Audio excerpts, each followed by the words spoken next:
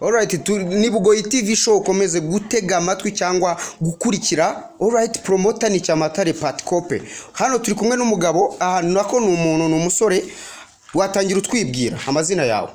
Manuel kazu manuel kazungu okay manuel kazungu ufite imyaka ingahe? Cumi n'icyenda. Cumi n'icyenda? Eh, waratubeshye. Oya. Ubu ibi cumi n'icyenda urayifite koko? Yampaye. None se manuel kazungu we ubundi mu buzima busanzwe ukora iki?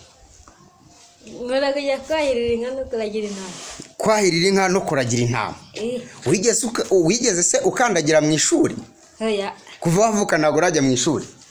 Ubu se washobora kubara kuva kuri rimwe kugeza ku icumi? Ngaho tubareye twumve udategwa. Rimwe kabiri gatatu kane gatanu gatandatu karindwi umunani icyenda icumi. Okay thank you so much. Mu cyongereza ho wabishobora se? Two three four five six eh? wabishobora one two three four five seven sage six twenty two eleven alright okay. Mari uzi ko burya manuel kazi burya uranabizi mani buri usubiye mu ishuri? Washwanyaguza pe! Eh, paul kagame uramuzi? Paul kagame namubonye ku modoka. Ku modoka? Eh. ntabwo umuzi. Yambaye amataratara okay yambaye amataratara Mm. okay paul kagame rero burya ni perezida w'u rwanda. Iki gihugu utuyemo ahantu hose uri. Perezida paul kagame ni we uhayobora. Byaba ari ikibazo utazi paul kagame. Eh, hariya ngo wamubonye he? Ku modoka ashushanyije okay hanyuma manuel kazungu we. Ah, mu buzima bwawe ikintu cyagushimishije kuva wavuka ni ikihe? Si ukubona ukubona ndiye gusa rukora wiririye Eh. yakoye da urwego iyo wariye ni cyo kintu kigushimisha. Eh, okay mu rwanda se hari umuhanzi n'umwe uzi?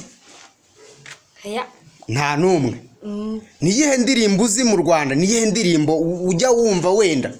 Kagame paul yambere akabando. Eee okay ngaho turirimbire gato twumve ukuntu bayiririmba kagame paul yambere akabando agaki?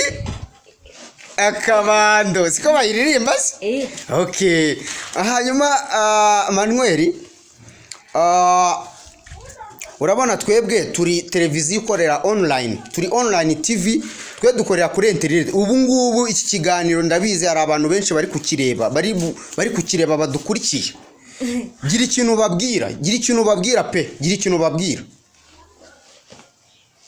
Nubwo batakizi nubwo utakizi ntabwo nta kintu uzi wababwira. Mm, okay. Hanyuma se eh, manuel kazungu we?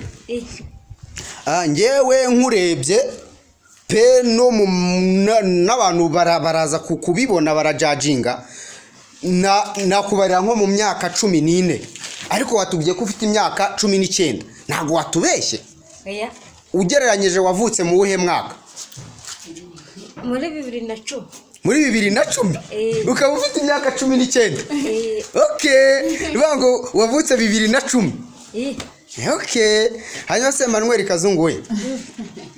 Utuye hehe dusobanurire hari igihe hari umuntu waba wicaye hariya ashaka kumenya ngo manuel kazungu atuye mu mudugudu akahe kagari umurenge akarere? Ibyo byose bidusobanurire. Akarere ka nyabipfura akarere ka ka nyabipfura ka nyabipfura reka da uvuga ngo utuye mu karere ka nyabipfura okay uwuhe murenge. Umurenge wa dusobeya wa rusebeya. Ikihe gihugu. Aka- akagari ka rukondo. Akagari ka rukondo. Igihugu ni ikihe igihugu cyo Eh? igihugu cya murenge. Igihugu? Cya murenge cya murenge Koye nawe, okay aha manuel kazungu reka dusoze reka dusoze gusa uranshimishije cyane. Alright uranshimishije. N'ubutaha tuzagaruka tuganire nawe. Twibutse ko iyi ni bugoyi tv show. Nkaba promota ni cyamatare patikope alright twizere ko ukomeje uri udukurikiye ukomeje kugubwa neza.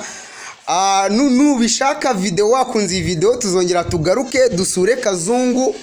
Emmanuel mm, Emmanuel Kazungu yongere atuganirize kuko ni umugabo utera urwenya cyane unasetsa cyane. Ubwo rero ah, reka twifurize abantu bakomeje kudutega yombi ibihe byiza kandi mbibutsa gukora subscribe kuri channel yacu ni bugoyi tv show tuzaba tukugezaho ibiganiro byinshi bitandukanye ama interview meza. Alright ciao ciao nakagaruka. See you soon. Ngaho pepera abantu pepera abantu babwire ngo bye bye bapepere bapepere kuri kamera zacu bapepere.